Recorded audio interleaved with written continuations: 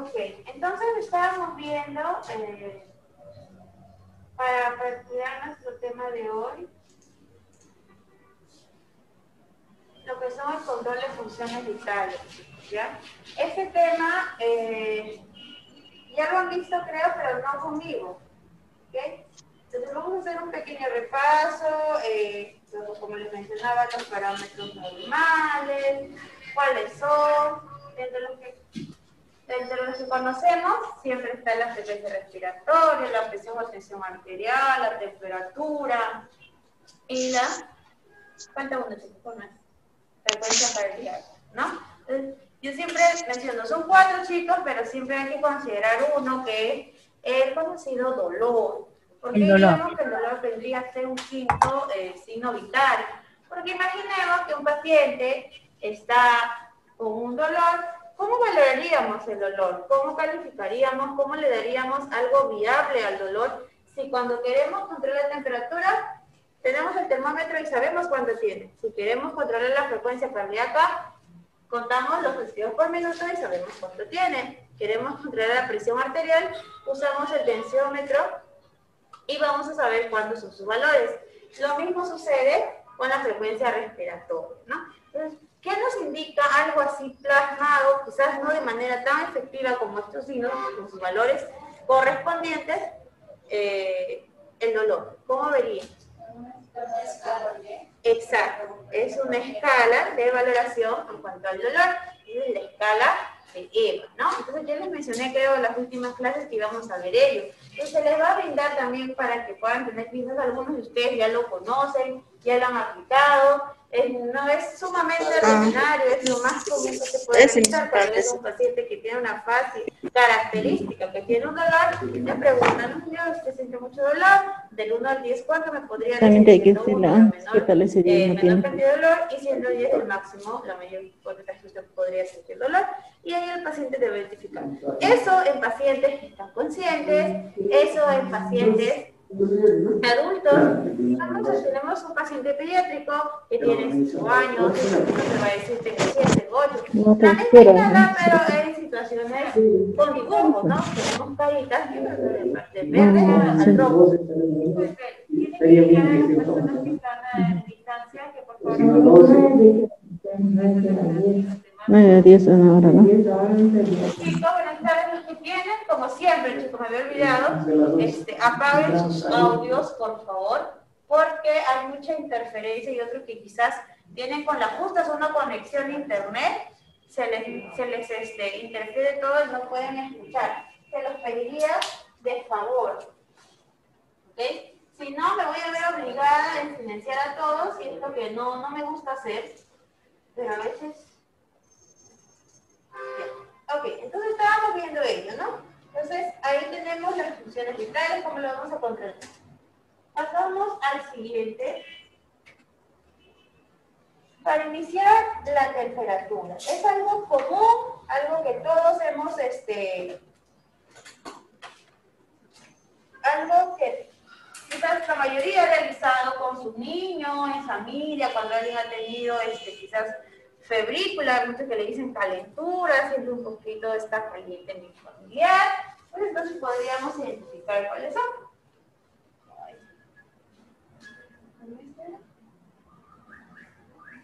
No, necesitas, necesitas un portero. ¿Lo traigo? Sí, por favor. Entonces, aquí vendríamos a ver lo que es la temperatura. ¿Ok? ¿Cómo identificamos? Ya lo han visto, ustedes van a saber que va a ser un equilibrio entre el calor producido y el calor transmitido en nuestro organismo. La temperatura que es normal o normal va a ser ese equilibrio que va a llegar a nuestro cuerpo, ¿ok? Entonces, como todos sabemos, empezando por el centro eh, anatómico, sabemos que el hipotálamo es el centro regulador de la temperatura. Entonces, vamos haciendo como si es un pequeño repaso, nada más, no vamos a ver todo el tema porque ustedes ya lo han visto ese tema. Entonces, igual, más me quiero detallar yo en mi examen porque son 20 preguntas sobre el teórico y el práctico es un pequeño repaso que todos van a recibir una hoja blanca y individualmente yo les voy a hacer una pregunta de señalización y me entregan. Es sumamente rápido el práctico, ¿ok? Entonces, para ello quiero avanzar, correr un poquito. Ok, entonces, ¿qué decíamos? Que la temperatura corporal va a ser un equilibrio entre calor producido y el calor perdido. Entonces, ¿qué va a involucrar el calor producido? Tenemos aquí el cuerpo humano, metabolismo basal, la actividad física que podemos realizar, ¿en qué se va? En la digestión de alimentos, los procesos hormonales, y también tenemos por otro lado lo que es el calor perdido. ¿Cuál de ellos vamos a identificar? ¿Cuál es lo que va a constituir aquello que nosotros vamos a saber? Ah, esto es lo que pierdo, esto es lo que produzco. Y lo vemos, evaporación, todo va a constituir por porcentaje, ¿no? Simplemente es mínimo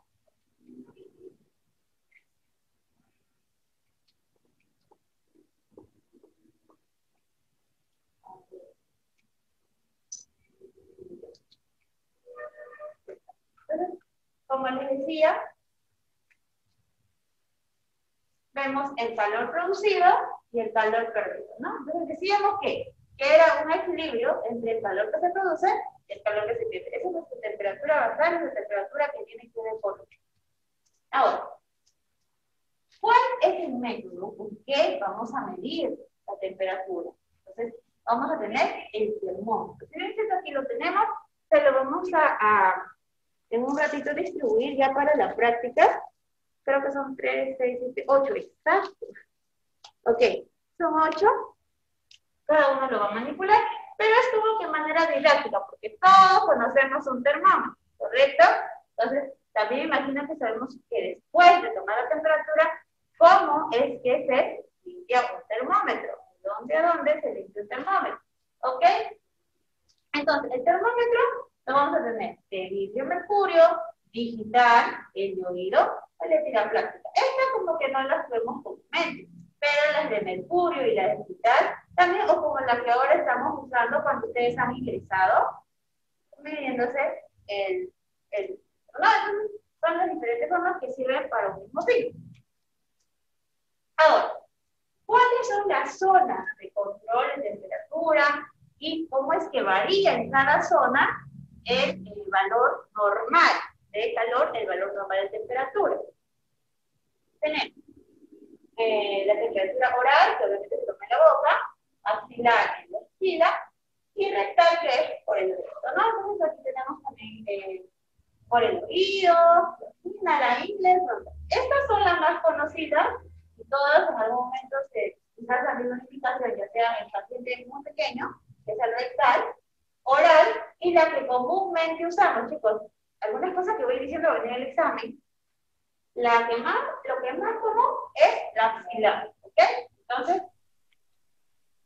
ahora, ¿cuáles son las partes del termómetro? Así, rápidamente. Esto ya lo han visto, tengo entendido.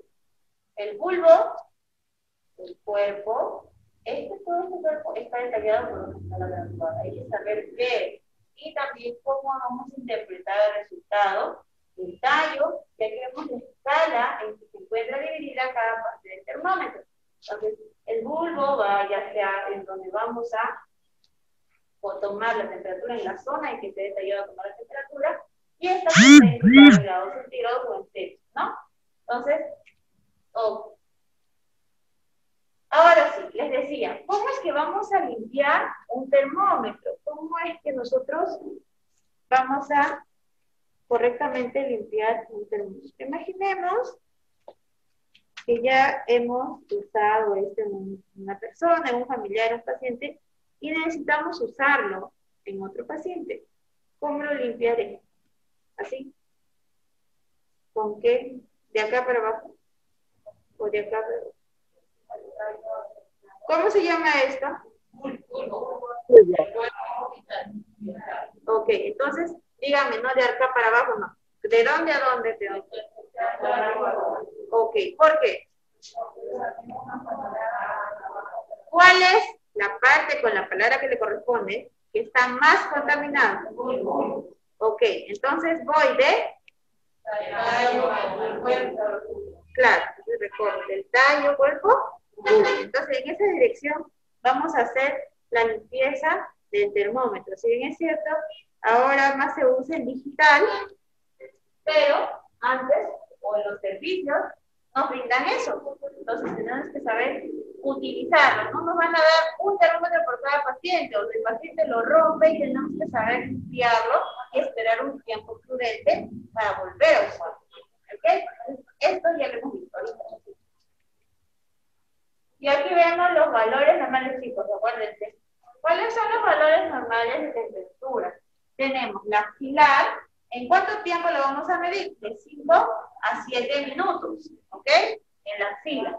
Y el valor promedio es de 36.5, eh, pero vamos a tener siempre un rango, ¿no? De 36.2 a 36.8.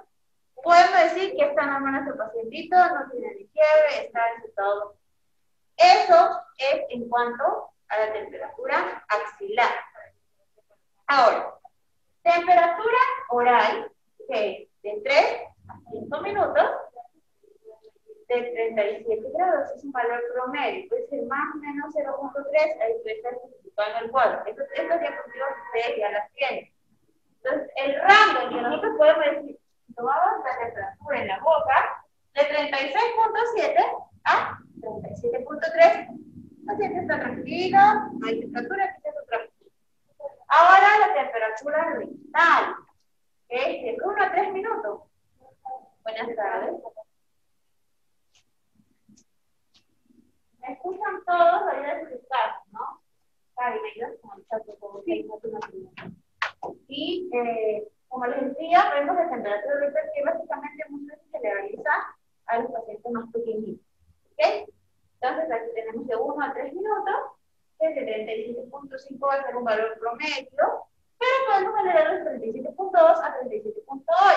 Entonces, ese rango que tenemos acá va a servir para que nosotros identifiquemos. Si digo que a mi paciente le estoy tomando la temperatura axilar y tiene 36.5, 36.6, ¿estará normal la temperatura?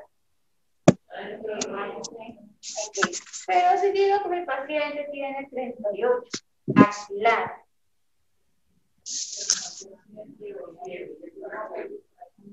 Eso ya. ¿Cuándo decimos que es fiebre? ¿Cuándo decimos que es fiebre?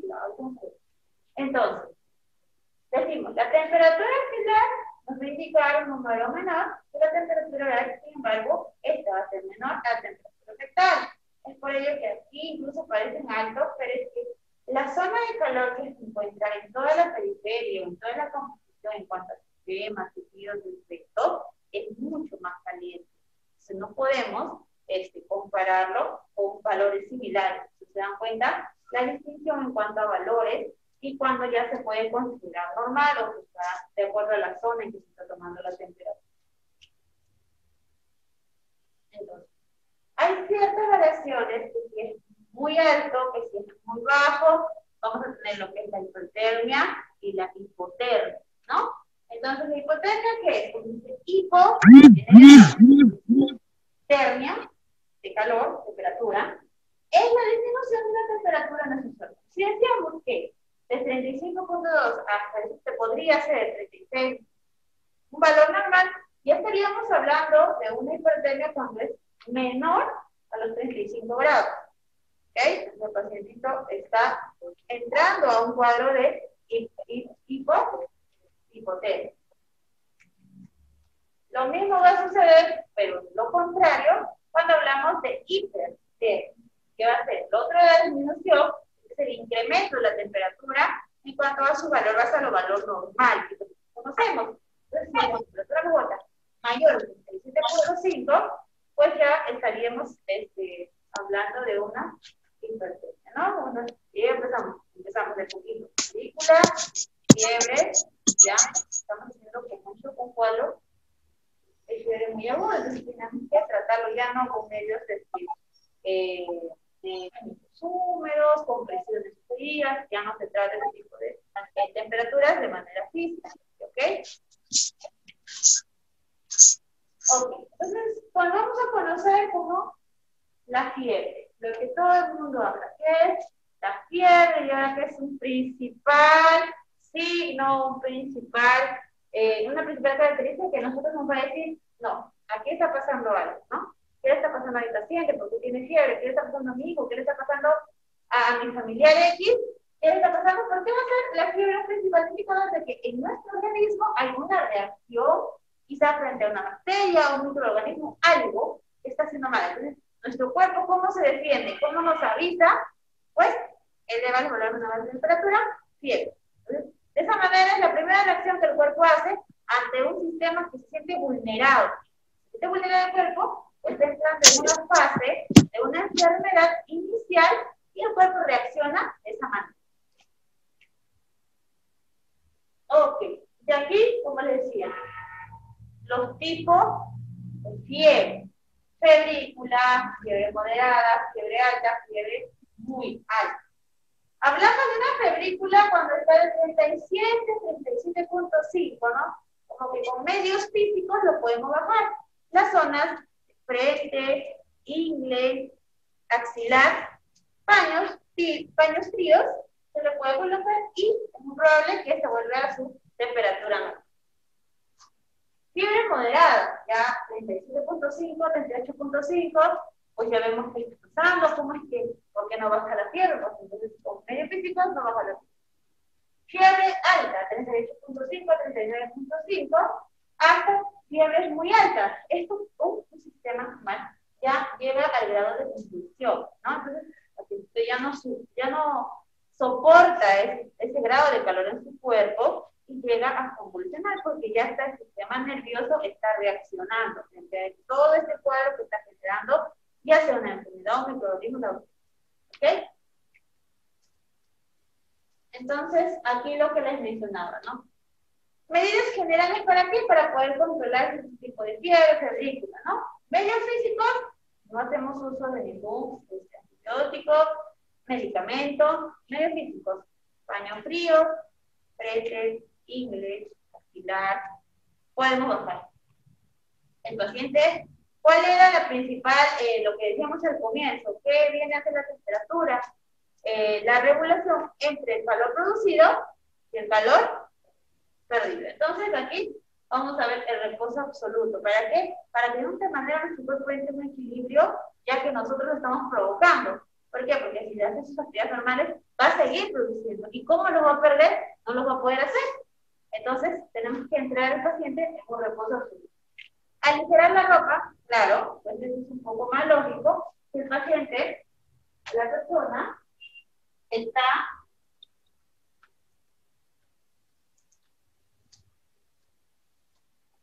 Ok, ¿alguien afuera de la clase? Ya.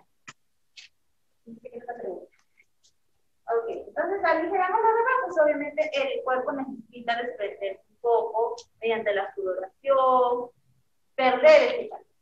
Tenemos lo que es la hidratación, porque si aplicamos un mayor físico al paciente cuando llena de calor, ¿qué es lo que hace? Sube. Y está perdiendo líquidos ya sea en mínima cantidad o en máxima, las personas son muy distintas, como puede personas que suben, hay personas que sudan un poquitito y hay personas que sudan excesivamente. Entonces, ese líquido que están perdiendo lo tiene que reponer. Es importante la hidratación. Aplicar baños de agua tibia frente a abdomen, axilas y ¿no? Entonces son las zonas de que no vamos a poder abordar un poquito. Si una película o recién está entrando a un cuadro, a un cuadro de. Baño de inmersión agua tibia 15 minutos, repetir cada dos horas si fuese necesario. Esto lo vamos a hacer siempre y cuando, ya lo hemos realizado una vez, no es que lo vamos a poner, ah, se está caliente, ¿qué hago? Ah, lo más fácil, si el paciente está caliente y quiero volverlo frío, lo meto al agua fría, lo remojo y lo saco. Náusea, ¿no? Entonces, es un baño de inmersión, no quiere decir que lo voy a hacer de un rato. Ponemos básicamente las zonas que conocemos acá y vemos que va a ir bajando suele dar efectivamente muchas ocasiones. Y si vuelve a lo vamos a repetir. Si no fuese así, buenas tardes. Si no fuese así el caso, yo me siento. Eh, nosotros, ¿qué vamos a hacer? Ya contactar a un profesional que nos pueda recetar un medicamento para que pueda, eh, ya sea violar, en caso de que se esté convulsionando, pues se aplica directamente un tratamiento de dolor.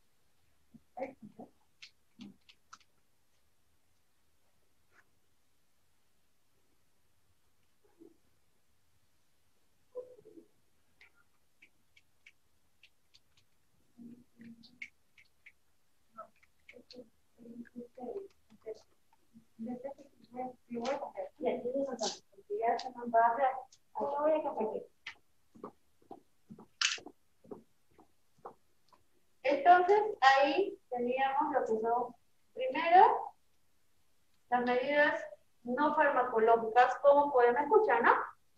¿Cómo podemos eh, abordar de manera en casa, en clínica, por así decirlo?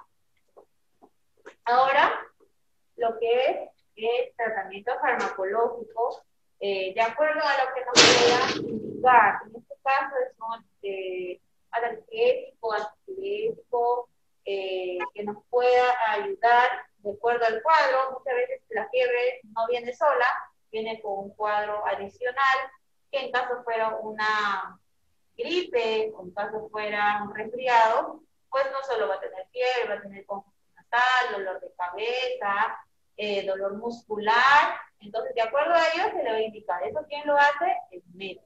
¿Ok? Entonces, cuando la temperatura dice que es mayor a 38.5, oral, y los, medios, y los medios físicos no han resultado todo lo anterior que lo hicieron y no baja la temperatura, pues entonces, generalizando, podemos usar paracetamol, que todo el mundo lo conoce y utiliza. ¿Qué? Podemos tenerlo en gotas, en jarabe, en tabletas, pues de acuerdo a la condición del paciente se le va a brindar. Ahí viene una indicación por peso y por, en caso niños, por gotas, que es lo que no los ¿no?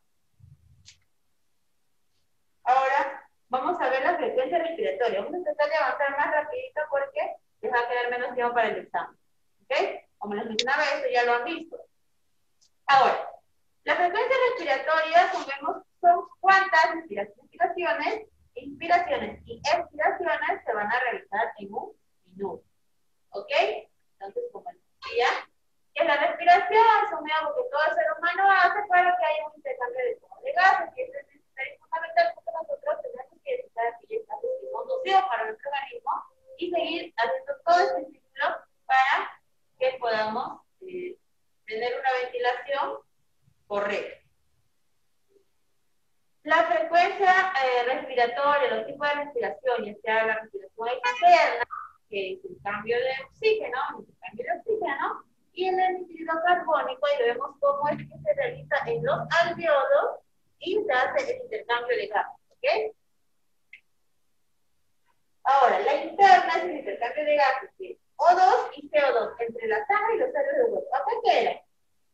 Entre los alveolos y la sangre y la sangre va a recorrer todo nuestro cuerpo. Y es ahí donde se realiza la siguiente fase de la respiración interna, que es ya el sangre que ha sido por los alveolos, ya lo recogió de los alveolos, lo va a transportar a cada célula de nuestro cuerpo. Ahora, ¿cuáles son los movimientos respiratorios? Son los movimientos, como sabemos, estos van a ser regulados por el centro respiratorio situado en el bulbo raquídeo, como ya habíamos observado, ¿no? Tenemos la inspiración y la expiración.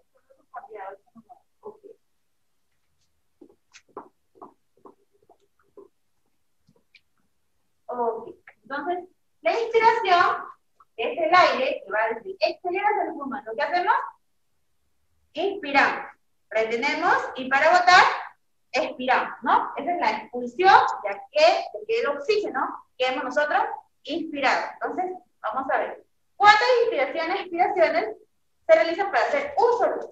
Una inspiración y expiración se contabiliza para nosotros tener una frecuencia respiratoria, ¿ok?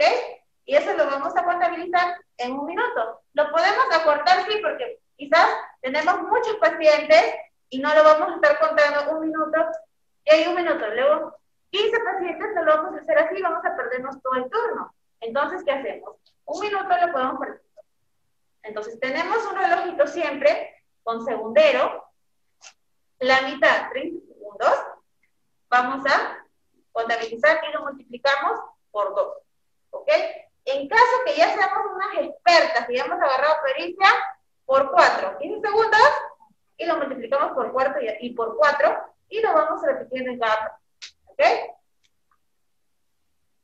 Ahora, eh, las características, vamos a tener frecuencia, profundidad, ritmo y los ruidos respiratorios. Frecuencia, lo que ya sabemos, cuántas respiraciones por minuto. ¿Ok? Profundidad, cuánto es que se, hay esa profundidad, no me lo dice, entre el tórax al momento de hacer cada inspiración y expiración. El ritmo, ¿qué son? ¿Pausados? ¿Rápidos?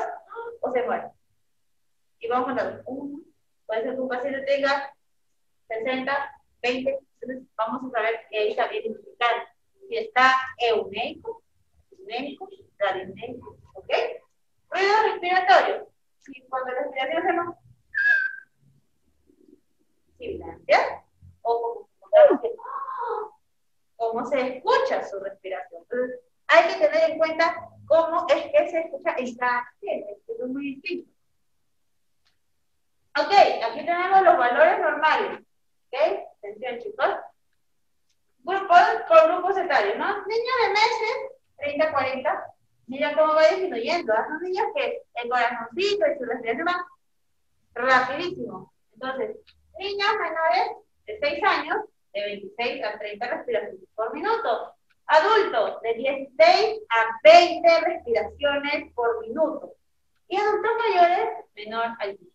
¿No? Entonces, pues tampoco va a tener súper, pero siempre hay que mantener ese rango, un rango este, cercano a este, porque ya el adulto mayor ya habíamos hablado que todo va a deprimirse, ¿no? Entonces vamos a tener una consideración con el adulto mayor.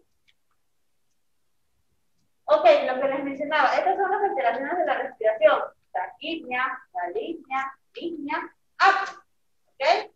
Taquipnia consiste que la frecuencia respiratoria está muy alta, está por encima de los valores normales.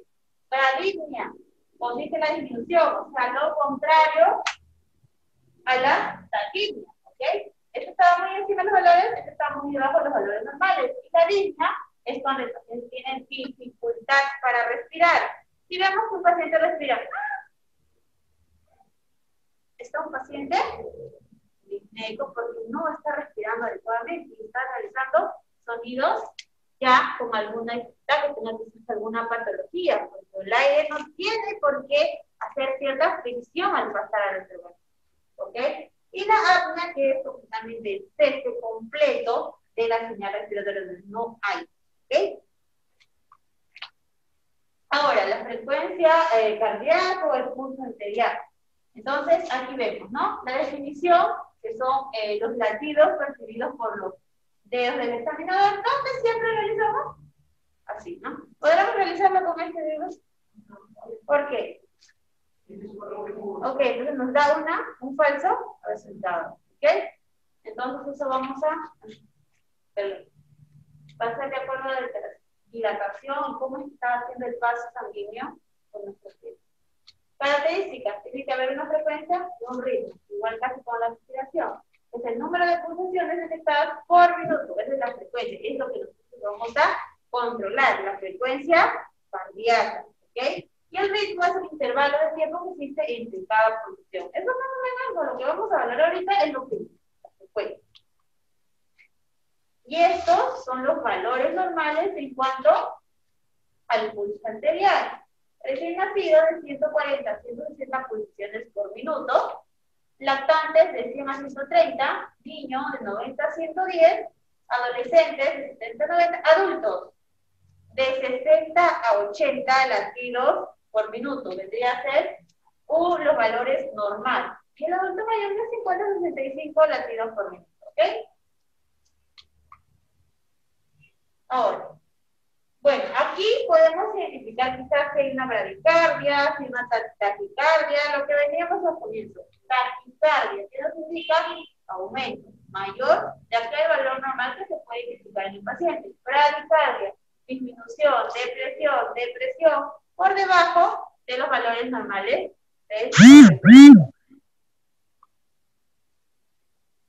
Ahora, aquí ciertos puntos en donde se va a controlar el pulso. Tenemos un pulso temporal, nosotros nos palpamos, tenemos esta pulso. Eh, tenemos el pulso cardíaco, está por acá, El pulso facial, que si nos tomamos por acá y cuando pie, lo podemos encontrar. Y esta es la más común, ¿no? El pulso radial, umbral braquial que está acá, pues aquí nos canaliza, y acá lo podemos sentir también. Eso es lo más rápido que nosotros podemos identificar. Es el más conocido y el más usado. Ahora, eso es en cuanto a las extremidades eh, superiores. Tenemos la extremidad inferior, que es el pulso perio, el pulso tibial posterior, el popliteo, que lo tenemos aquí, y el femoral, que es una de mayor calibre y se siente sumamente rápido. ¿Ok? Entonces, son los que vamos a observar. La presión o tensión arterial, chicos.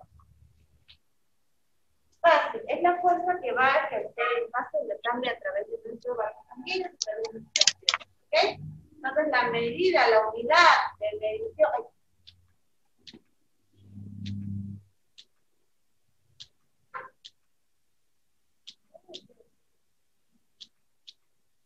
Ya. Va a ser los milímetros de mercurio, ¿no? Aquí vamos a representar el valor de 100 qué, 70 qué. Entonces vamos a ver, explicar qué es el valor que estamos dando.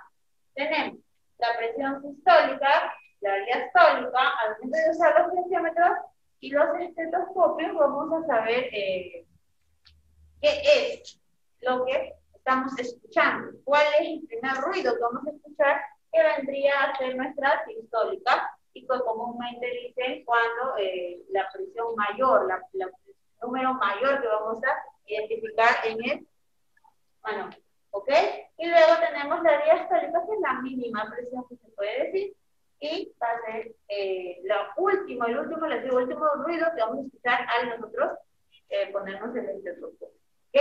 Y la presión media, la presión sistólica, que es la máxima, y la presión diastólica que es la mínima, y ahí tenemos nuestra presión arterial, ¿no? Así lo vamos a representar. Entonces aquí tenemos lo que son, en consiste la contracción y la relajación de, este, la relajación, perdón, la contracción y relajación cardíaca, ¿okay? que identifica la contracción, la presión máxima, la relajación, la presión mínima o diastólica. ¿Ok? Y esto es lo que nuestro equipo, que vamos a usar, y lo vemos aquí también, el tensiómetro, el fingomanómetro, como lo vayan a llamar, tenemos nuestra perilla o pera, nuestro manómetro, ahí nos va a indicar los números de cuánto está marcando la presión de su paciente, el brazalete que se insufla con esto, y este pequeño circulito es el cual nosotros vamos a ir disminuyendo o desinsuflando, lo que primeramente lo vamos a llenar de aire, para poder escuchar cada sonido, cada ruido al momento de eh, controlar la presión arterial. El estetoscopio, que lo van a, vamos a usar sí o sí, porque se coloca el diafragma del estetoscopio a la altura de, la arteria que de, de dónde este punto de presión queda. Ok, entonces lo vamos a escuchar con el estetoscopio, ¿ok? Para ir ya más rápidamente. Alteraciones, igual que las anteriores, alteraciones en cuanto a la presión arterial, hipertensión, cuando está elevado, hiper de aumento, ¿ok? Elevación de los valores termales en cuanto a la presión arterial, ¿ok? Hipotensión, cuando existe un, eh, la disminución, depresión, una, una eh, presión que está deprimida en cuanto a los valores, entonces podemos hablar de hipotensión. Entonces, eso vendría a ser el breve repaso, lo que es los signos vitales, chicos. Ya nos estamos viendo para la hora. Vamos a la siguiente. Hay un participante que ha escrito que está a las seis, le respondió el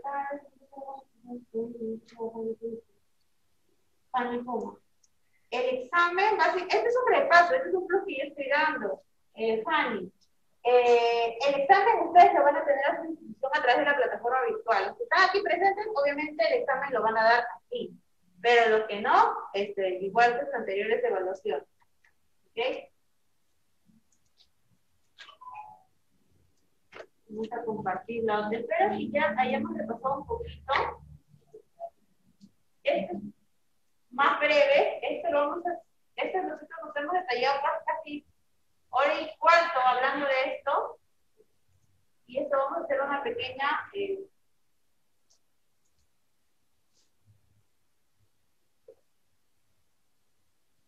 Ayer, tú estás computando. Sí. Ok. Ok, entonces veamos rápidamente lo que es la sociedad de protección. Una vez que estoy haciendo la práctica, cuando le el examen, Karina, por favor, el muñeco lo voy a necesitar hacia el final. Hacia el final. Yo te voy a dejar. Entonces, vemos que era la sociedad de protección. Era una consecuencia. Escuchemos bien los términos que muchas veces marcamos mal en las preguntas porque tenemos diferenciar estos términos. ¿Ok? ¿Qué es la consecuencia de una necrosis a nivel de la piel. ¿Ok? ¿Alguien tiene? Entonces, de la piel, tejidos subcutáneos, generalmente en una zona de presión. Hemos hablado del cansancio, de las zonas de presión y lo que debemos de hacer frente a esto para evitarla y para también lo que importante de esto que decíamos, que mejor es prevenir que tratar. ¿Ok? Siempre tenemos un paciente y vamos a ver cómo valorar. Antes de pasar a ello, eh, yo tenía, para que pudieran ver, yo creo que todos lo conocen igual, van cogiendo uno y lo pasan por todos. 4, 8, 9.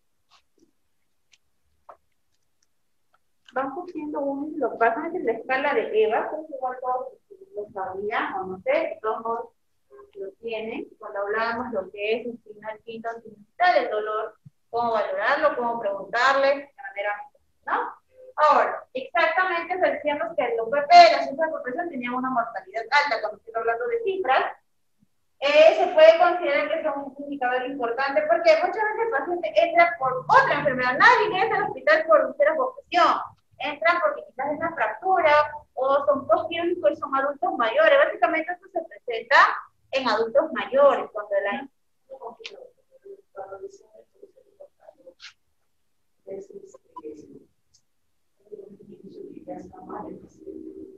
Claro, claro, o sea, acá tenemos las zonas con presión, no, no, singularmente en el talón, puede aparecer en cualquier zona y ya no está un ya es un indicador que debemos observar. Claro, como inicio decíamos, un enrojecimiento, que es leve, que el paciente ni siquiera dice que le duele, que ni siquiera se da cuenta, pero nosotros, ¿qué decíamos que es lo primero que realizamos y debemos ver? Ya, ¿y qué era lo que nosotros realizamos como auxiliar de enfermería? El baño. Todos los días el aseo. Entonces, ahí es el principal que debemos mirar dónde está enrojecido, dónde genera dolor. Entonces, el paciente no se da cuenta, entonces debemos de... Importante también el tendido de cama, que lo vamos a ver luego si hubiese habido una pequeña así y no le hemos hecho correctamente, también va a generar fricción en el paciente. El secado correcto, porque el paciente puede tener la piel húmeda. También el uso de hidratantes a base de agua. Estas, ¿por qué? Pero hasta, más que hasta que desaparezca el producto, no dejarlo humedecido. ¿Ok? Entonces, ahí vemos lo que es uso la protección. Ay, no está. No, no. El indicativo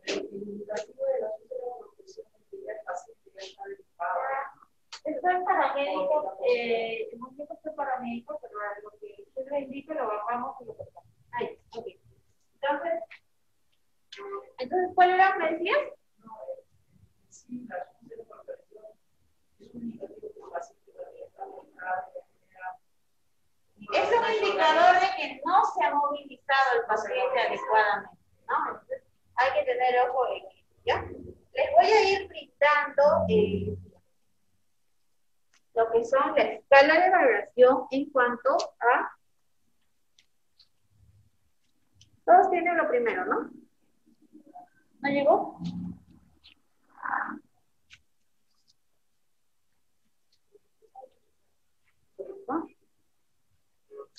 Tenemos lo que es la escala de Norton, donde nos indica qué es lo que vamos a valorar para saber eh, cuánto riesgo está nuestro paciente de presentar úlceras por presión. ¿Ok? Entonces, pasen por favor. Entonces ahí veíamos eh, que decíamos que esta úlceras por presión no es que se distingue, sino que se puede presentar en cualquier grupo etario. Sin embargo, existe una alta incidencia en aquellos pacientes adultos mayores. ¿Ok?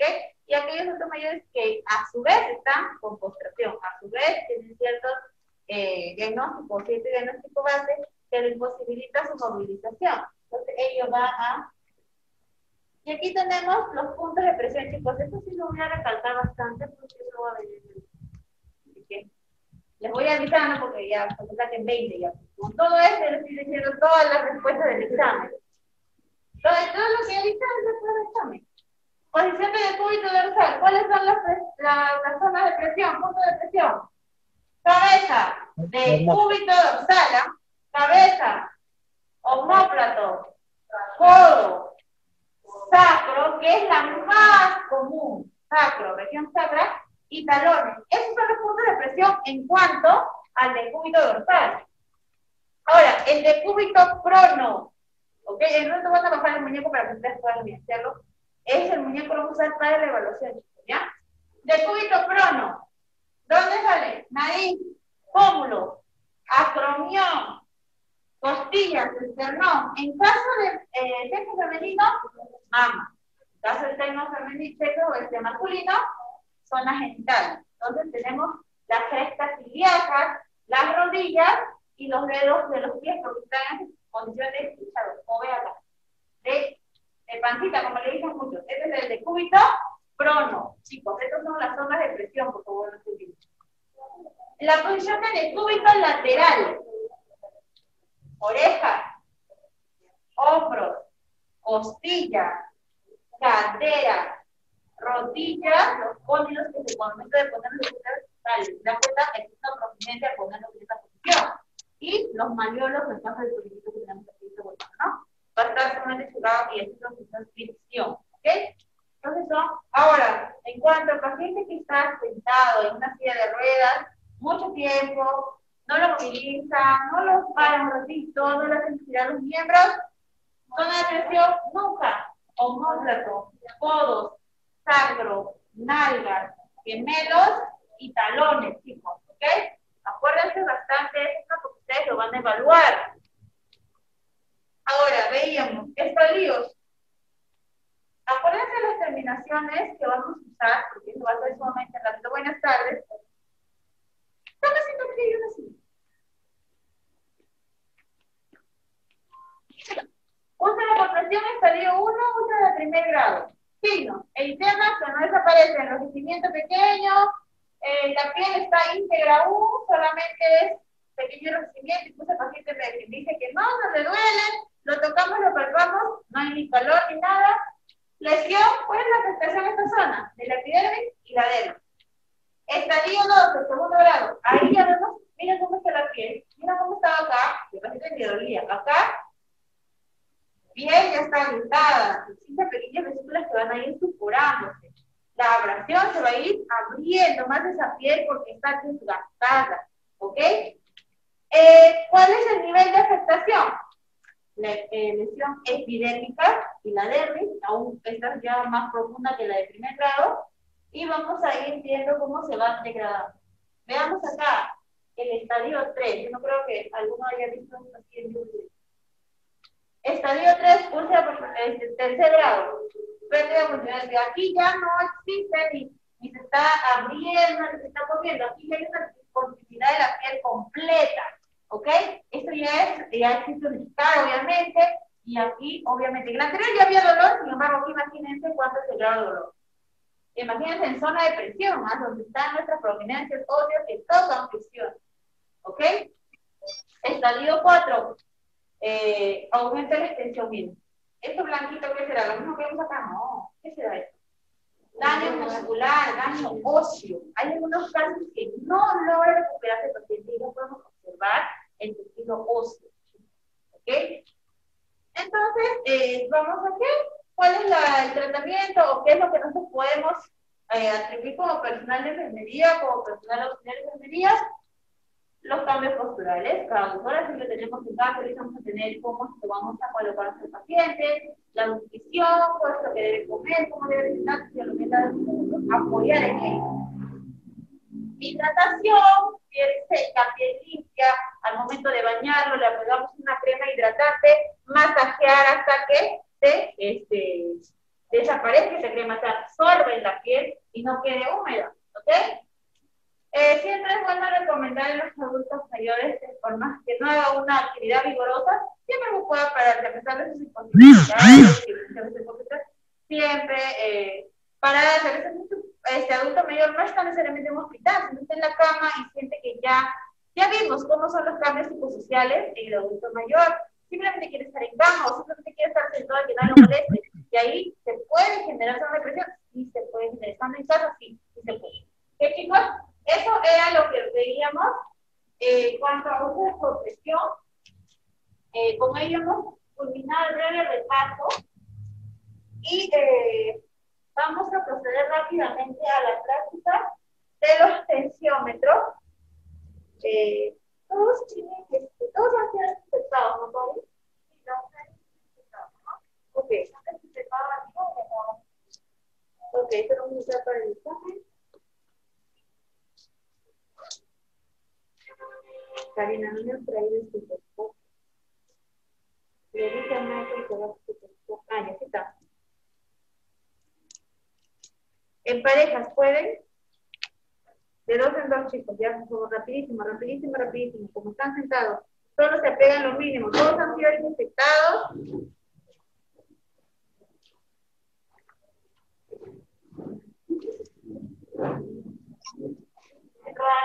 por favor.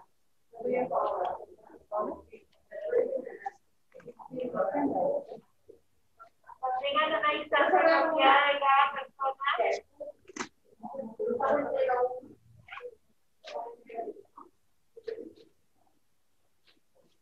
Tiene que estar, ¿se podrá tomar la presión por sobre la ropa?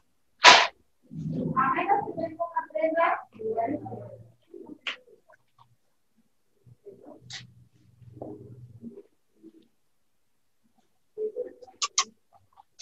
Colóquense su protector facial, por favor, a las personas que van a tomar temperatura a la otra persona o que van a, tienen que colocar, se van a colocar unos con otros, tienen que colocarse su protector facial, su mascarilla. Eso que quiero decir, quiero que si en primer cuidado, ¿hasta dónde lo van a encontrar? Tienen que no, no, no, me estamos abiertos. Tú necesitas bien la hora de que menos tiempo de examen.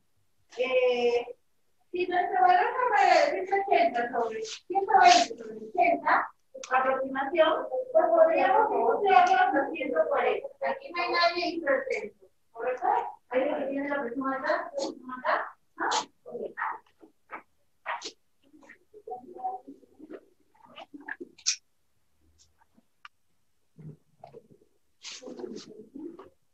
Saben ubicar cómo se coloca un microscopio. Los unos para qué lado tienen que estar apuntando.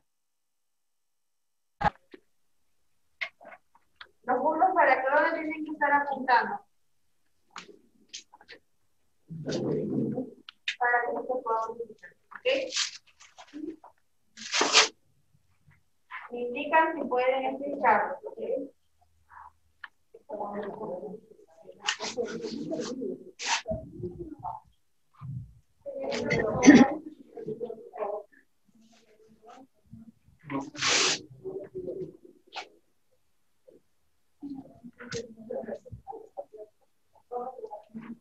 Verifiquen si está abierto tu eh, telescopio para que puedan escuchar. Si a veces no van a escuchar, si no está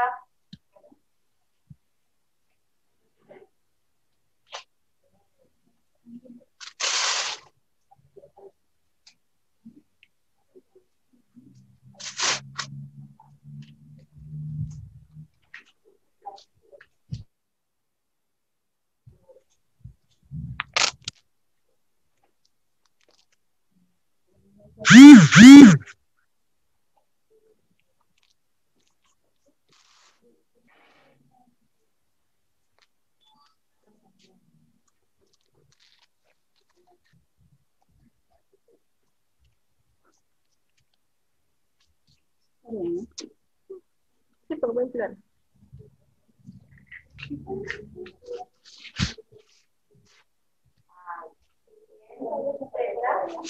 Ahí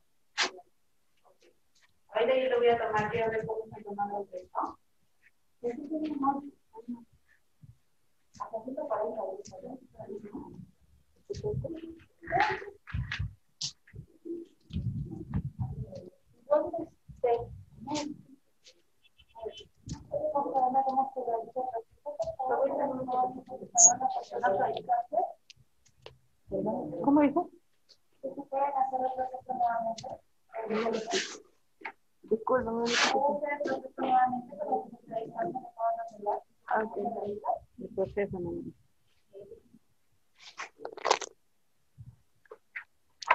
A ver, como decíamos que era reconocido. Claro. ¿Cuántos libros tienes? ¿Y tienes una ligera?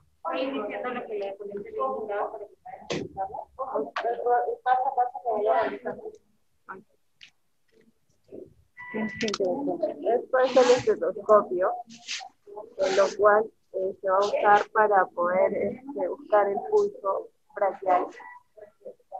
Y esto es la, bueno, eh, es la perita, esto es este, el manómetro, eh, las mangas y el, el, brazo, el, el brazalete.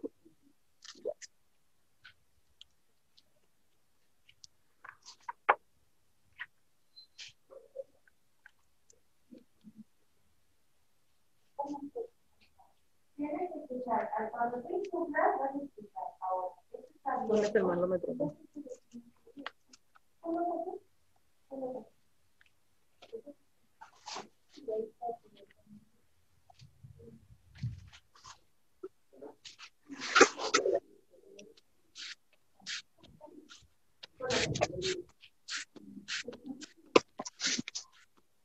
Siento, ¿no?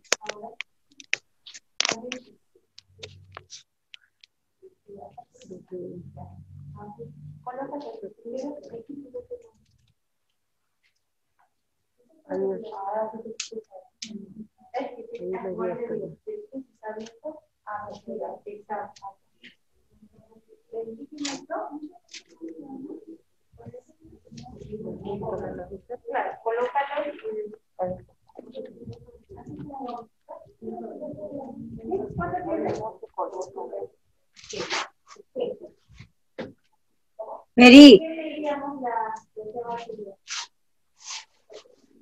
¿Qué?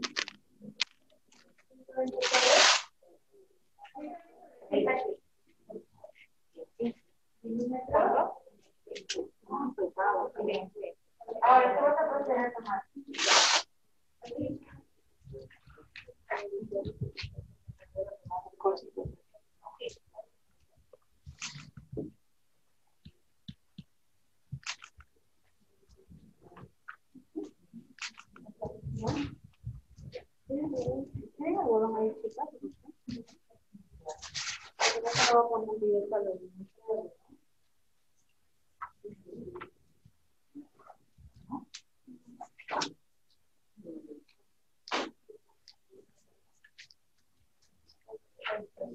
Déjalo secar, corazón. regálalo.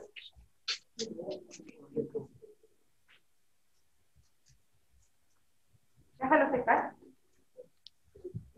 y luego. Solo tiene que estar colocada tu, tu estetoscopio. Directamente tus oídos solo tiene que descansar primero antes que vea.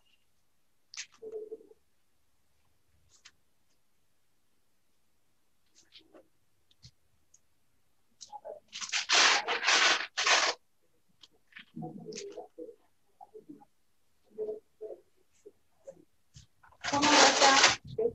entrar luego el... Ahí, para que luego puedas bajar con esta perilla.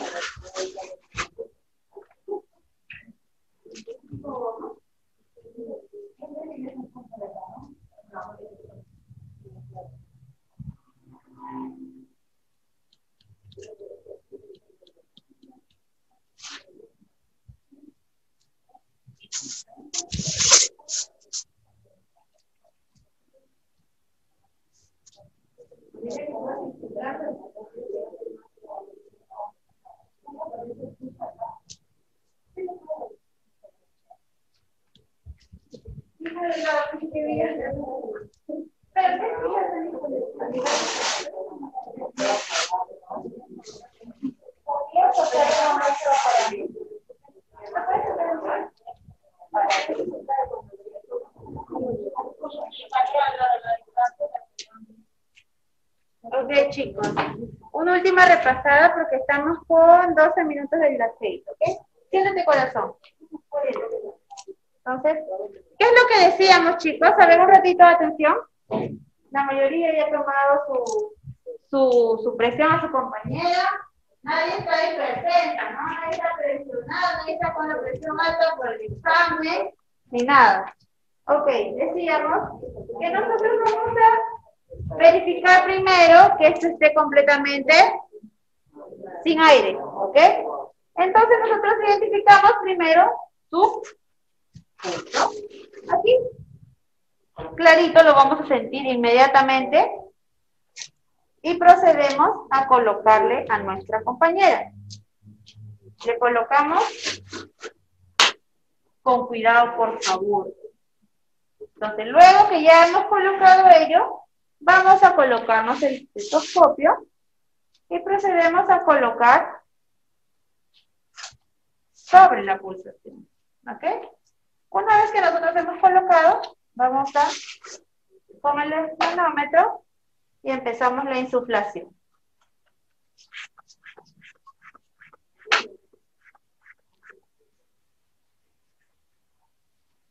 Empezamos a... ¿Y vamos? Primer latido lo escuché en 120.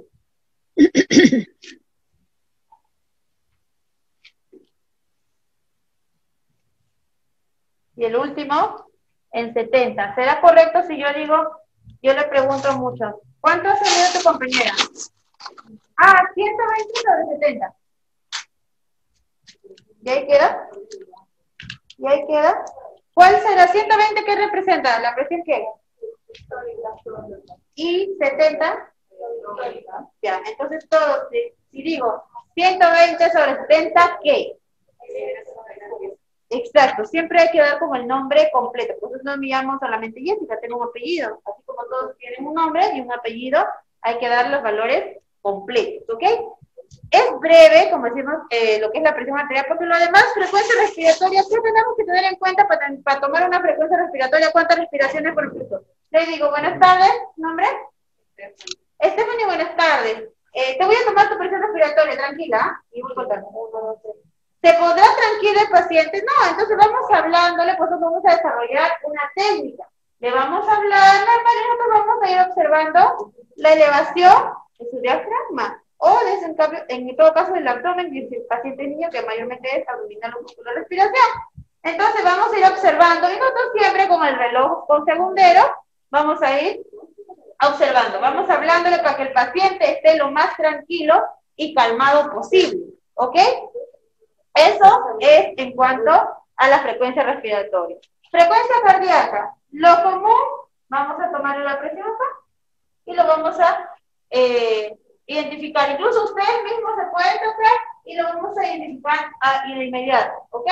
Vamos a ir frecuencia cardíaca, frecuencia respiratoria, presión arterial y temperatura. Lo que es eh, parte del termómetro va a ser va a ser parte de la evaluación práctica, ¿ok? Entonces, gracias corazón, a su asiento. Y eso sería en cuanto a la de esta manera para que sepan eh, cómo es que debemos sujetar el estetoscopio. Su compañera, eh, curiosidades, compañera nos decía, no escucho. ¿Qué debo tener en cuenta? Yo me he retirado todo.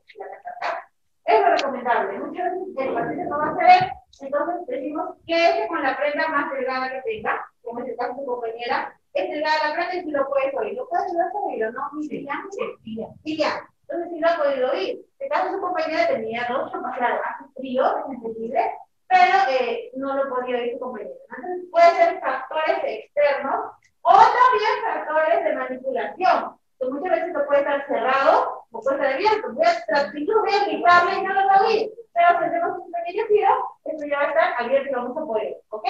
Entonces vamos a hacer eh, rápidamente se van a devolver los, los equipitos. Algunos les digo estuche, ¿cierto? Ya está uno. Vuelvo a repetir, chicos, silencio. Al reverso, donde está la hoja en blanco, con los nombres y apellidos legibles, por favor, completos, enumeran del 1 al 5 y en el número 5 van a subdividir en A, B, C y D. Ponen A, paréntesis, abajo, B, paréntesis, abajo, C, D, porque ahí al costado van a escribir ustedes sus respuestas. Ya, ¿todos, todos tienen ellos? Todos terminaron entonces el examen, ¿no? Ok, vamos a empezar, no sé si por este lado, por este lado, de manera individual y en silencio van a ir pasando. Empiezan por aquí, yo les voy a hacer preguntas, por favor, sumamente en silencio, porque si no la respuesta va a ser obvia para todos. Si, si pudiese un poquito bajar el corazón tu nombre, ¿Milagros? ¿Milagros? Sí. Carla, un poquito bajo, un poquito nada más. Claro, con tu silla un poquito. De igual manera ahí. Van bajando, van bajando, van bajando para que esta, esta parte aquí quede un poquito libre.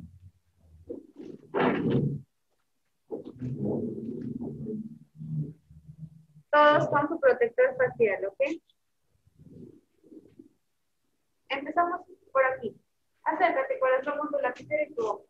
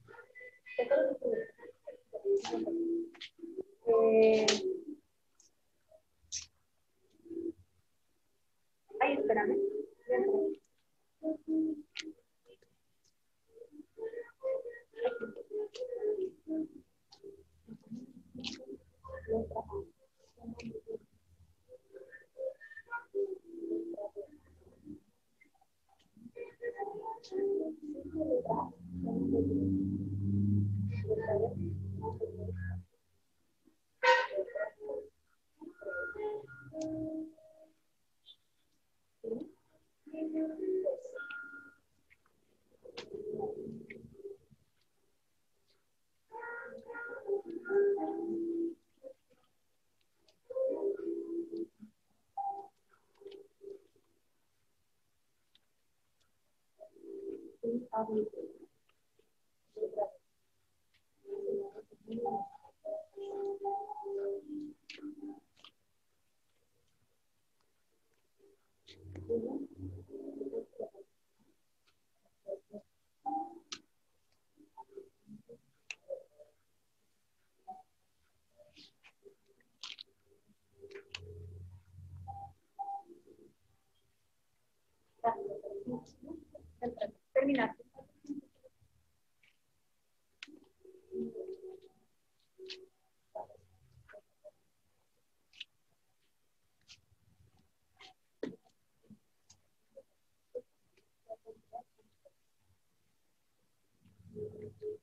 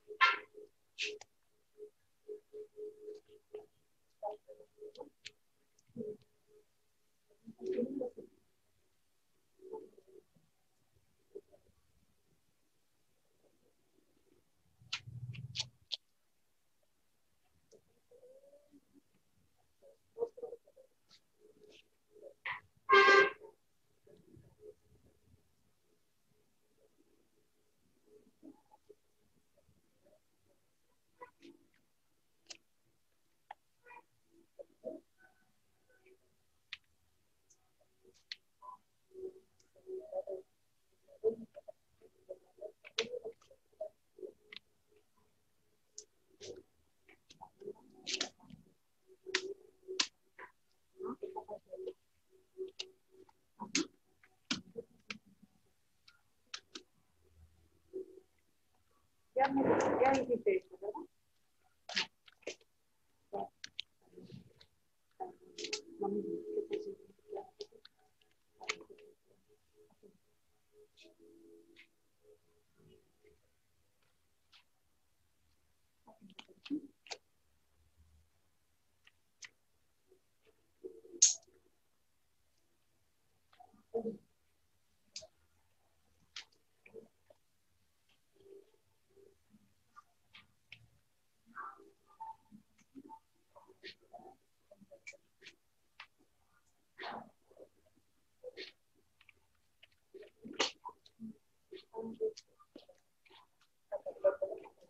En la número uno.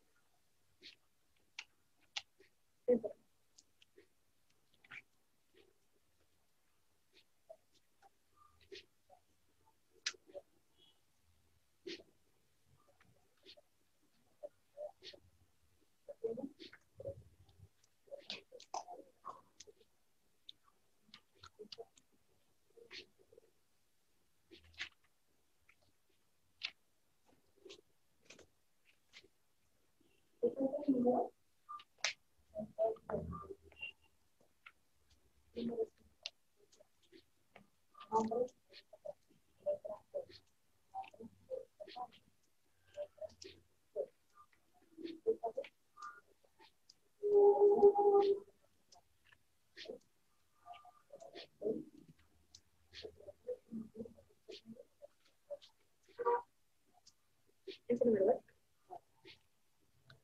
Lo mismo.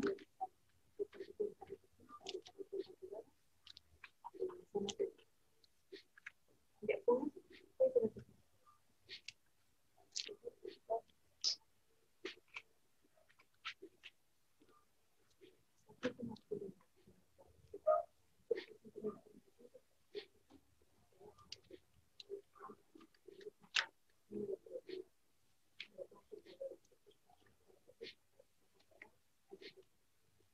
Okay.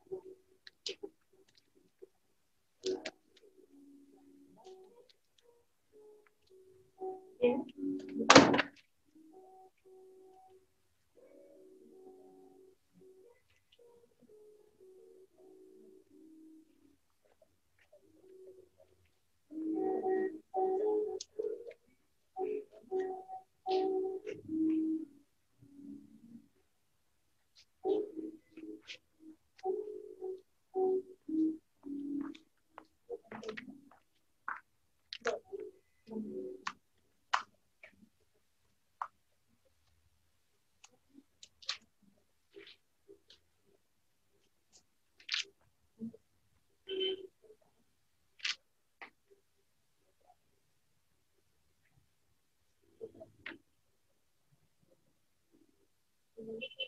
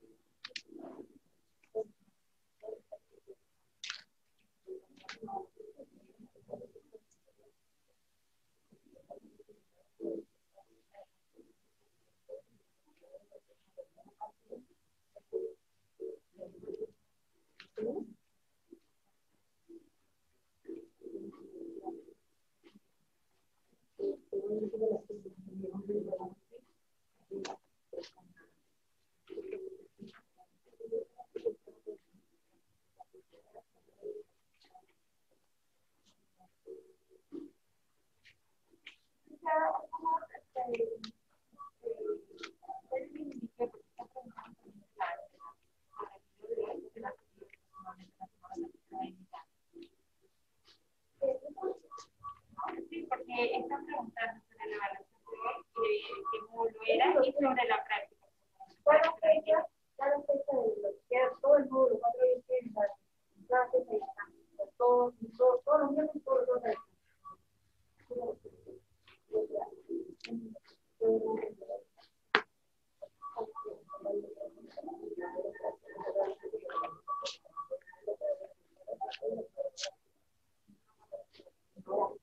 ¿Cuatro también?